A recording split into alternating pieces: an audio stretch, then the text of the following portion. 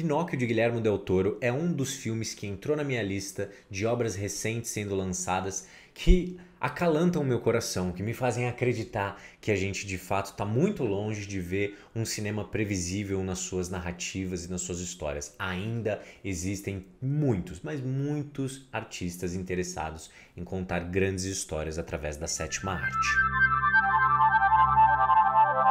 O filme é uma combinação de sentimentos. Nós estamos sendo apresentados a uma história que não precisaria de apresentação alguma Todos nós conhecemos a história de Pinóquio, principalmente graças ao sucesso criado pela empresa de Walt Disney. Mas a forma com que essa história é abordada e as quebras de expectativas que são construídas mostram que é um filme de fato sendo abordado por Guilherme Del Toro. É interessante pensar o quanto os temas levantados por essa obra estão até mesmo na escolha da animação. O filme é todo realizado na arte do stop motion, que é uma das artes de animação mais renegadas dos últimos tempos desde a chegada dos efeitos visuais de computação. São cada vez mais raros os filmes de stop motion. Essa que era uma arte muito presente em grandes produções, como por exemplo nos três primeiros Star Wars. Guilherme Del Toro fala sobre algo que é único, porém deixado de lado, renegado, pouco compreendido, até mesmo esquecido.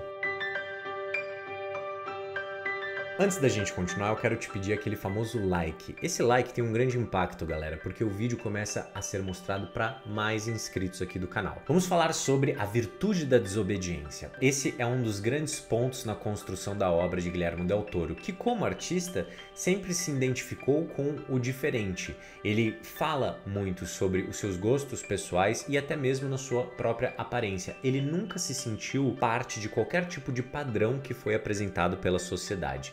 Então, o seu refúgio sempre esteve na relação com os monstros. Monstros, por definição, são únicos, são diferentes e muitas vezes pouco compreendidos. E é exatamente essa relação de amor que o diretor traz para toda a sua filmografia. Uma das grandes partes do seu trabalho é desconstruir o conceito do que é belo, é encontrar a beleza no que há de diferente, no que há de assustador também. Ele é completamente contra a uma certa ditadura que tem encontrado na nossa sociedade do famoso legal. Tudo tem que ser legal, tudo tem que ser morno, não pode te desafiar de muitas formas. O que ele prefere é muito mais a complexidade do ser humano. Nós não somos bonzinhos o tempo todo e nem malvados o tempo todo. Nós temos contrastes, nós não somos tão óbvios assim. Podemos ser ótimos e péssimos na distância de alguns segundos dentro da nossa vida. E com a construção do Pinóquio, ele viu justamente a possibilidade de abordar esse tema de uma forma única. Esse é um projeto que que ele queria realizar desde que tinha 20 anos de idade. É a história de um menino de madeira inacabado, construído numa noite de bebedeira do seu pai, um criador que não o aceita tão bem assim e o próprio Pinóquio não tem interesse nenhum em obedecer. E esse filme constrói um encanto do Pinóquio de forma completamente diferente. Logo no começo, o seu visual e até mesmo as suas atitudes nos afastam. São atitudes exageradas, barulhentas, que nos colocam principalmente na perspectiva do Gepeto, mas é com a jornada do Pinóquio que nós vamos nos apaixonando e cada vez mais nos identificando. Então, a desobediência do Pinóquio é na verdade uma virtude, é na verdade um manifesto da nossa própria desobediência e da beleza que ela pode pode ter. Nós estamos o tempo inteiro sendo colocados em caixinhas, mas de vez em quando é bom questionar e fazer perguntas, assim como o Pinóquio. Não à toa, esse filme tem a guerra como plano de fundo. Não é a primeira vez que o Guilherme Del Toro utiliza a guerra como plano de fundo para contar uma história lúdica. No caso de Pinóquio e por que escolher essa história, ele conta que a sua relação começou justamente com a animação de Walt Disney onde ele foi profundamente impactado. Eu não sei se vocês assistiram aquela animação recentemente, apesar de ser uma animação, o design do personagem é bastante fofinho, mas a história em si é bem pesada. E justamente por ser pesada que o Guilherme Del Toro ficou completamente encantado, porque ele percebeu que mesmo com um estilo de história tão lúdico como a arte de se contar histórias através da animação, era possível falar sobre temas profundos, falar sobre o quão difícil é ser uma criança, o quão difícil é crescer, o quão complexo pode ser se encaixar. Mas aqui ele decide construir isso em combinação com a ascensão do fascismo. E basicamente o que acontece é todas as pessoas têm que obedecer às ordens desse regime e o Pinóquio vai numa direção completamente oposta. Ele pergunta o porquê, ele quer saber, ele quer fazer, ele não para para pensar. É uma espécie de representação dos nossos desejos sem qualquer tipo de controle. E o grande contraste da obra, o grande contraponto vem justamente desse regime de segundo plano, onde todos abaixam sua cabeça, todos obedecem, onde o próprio pai está disposto a mandar o seu filho para a guerra. E além disso, tanto o tema da guerra como do fascismo criam um link com os tempos de hoje, onde nós vemos as duas coisas acontecendo diante dos nossos próprios olhos.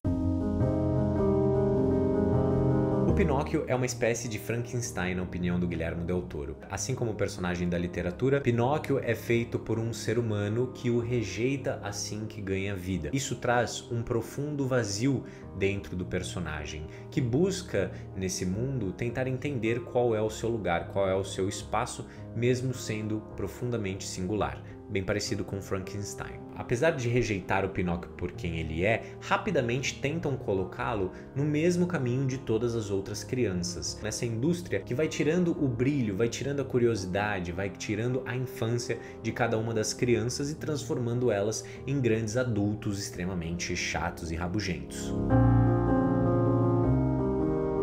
Fim das contas, Pinóquio é uma história sobre pais e filhos imperfeitos. O diretor não quis de forma alguma tratar o Pinóquio como um boneco de madeira que passaria por vários obstáculos para virar um menino de verdade. E aí, na minha opinião, está a grande virada, a grande quebra de expectativa na construção dessa narrativa. Pinóquio já é uma criança de verdade, ele já é único com suas próprias características e não precisa mudar, não precisa ser aceito. Quem precisa mudar são os adultos, principalmente o Gepeto, o pai, que precisa entender entender que o filho deve ser abraçado pelas suas próprias características, pela sua própria personalidade, pela sua própria singularidade. Então, naturalmente, essa relação ela fica ainda mais humana porque ela é cheia de complexidade. Todos nós vamos enfrentar altos e baixos nas relações com os nossos pais. Lidar com essa história dessa forma faz com que Pinóquio seja ainda mais impactante e que leve a gente para refletir sobre as nossas próprias experiências. Quebrando outro tipo de tabu, o Guilherme Del Toro, como um bom mexicano, trata a morte como algo lindo. Em uma entrevista ele disse algo que eu considero muito bonito. Não somos especiais, porque todos nós vamos morrer. E é justamente por isso que o nosso tempo, ele sim é especial. E quando a gente pega a obra, em todas as relações com a morte, nós temos uma negociação de tempo acontecendo. Já que o Pinóquio não morre, o que, que ele perde quando ele acaba saindo dessa dimensão e se encontrando com a morte? Ele perde o tempo, que é um elemento importantíssimo. Não há tempo a perder dentro de todos os debates. Quando o Gepeto está preso na baleia, quando o Pinóquio não está com seu pai, eles estão afastados e perdendo tempo. Então é um filme que realmente abraça a virtude da desobediência e ao mesmo tempo traz essa reflexão de abraçarmos as nossas imperfeições para que o tempo não seja gasto de uma forma que a gente se arrependeria no futuro. E isso, no fim das contas, é uma escolha. O Pinóquio não é humano a partir do momento em que ele ganha um corpo humano, mas sim a partir do momento que ele tem o livre arbítrio de decidir qual será o seu destino e o destino de seu pai. É isso que nos torna humanos, as escolhas que fazemos. Quem você quer ser? O que os outros esperam de você ou quem você realmente pode ser? Eu fiquei completamente apaixonado pela obra porque desde o começo nós temos um Pinóquio que é visualmente estranho aos nossos olhos, que estamos acostumados com aquelas representações mais fofinhas da Disney. Aqui nós temos um Pinóquio inacabado, nós temos um Pinóquio judiado, com um estranho movimento, mas que por ser quem é, vai ficando cada vez mais encantador conforme a gente passa mais tempo com ele. O diferente está em cada detalhe da obra, está em cada construção de set, está em cada escolha visual que está no filme. Em cada frame você encontra uma celebração ao que é diferente, ao que é estranho. Então, no fim das contas, é um presente criado por um grande artista, Pinóquio, por Guilherme Del Toro. Eu espero que vocês tenham gostado desse vídeo, não deixem de se inscrever e a gente se encontra no próximo.